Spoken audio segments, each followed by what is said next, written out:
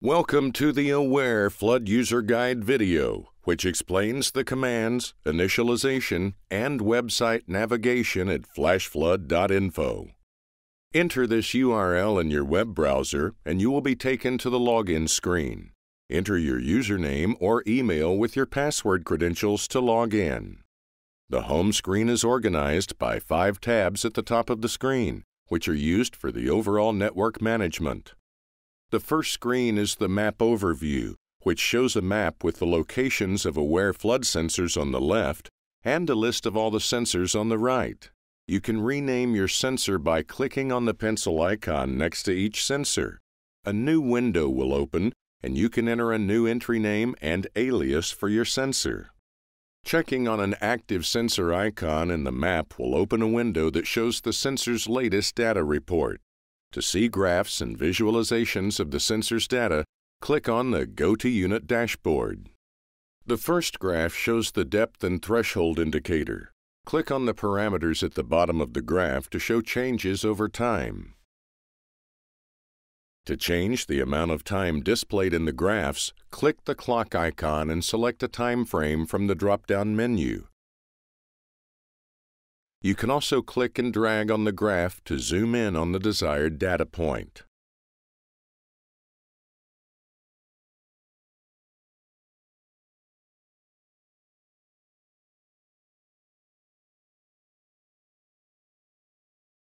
The next graph down displays temperature in both Fahrenheit and Celsius.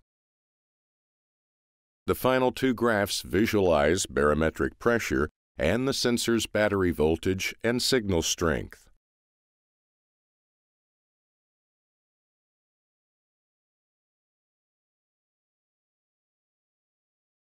You can also manually update the sensor's GPS and set the elevation to enable the mean height above sea level setting for the graph. Below the map is the Data and Settings window, where you can make changes to the sensor settings.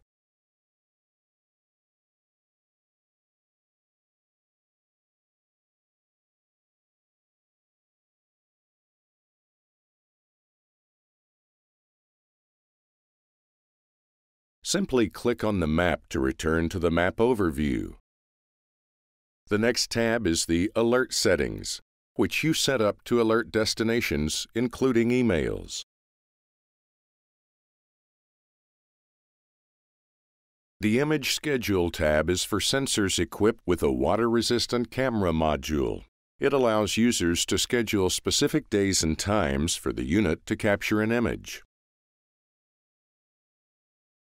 The Export tab enables users to export data for desired units to either a CSV or Excel spreadsheet.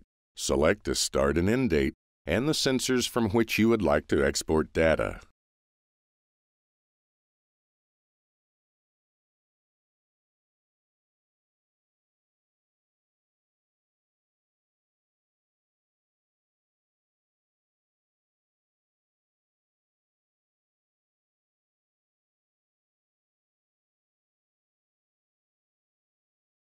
Finally, the command queue records every command that has been requested of each unit.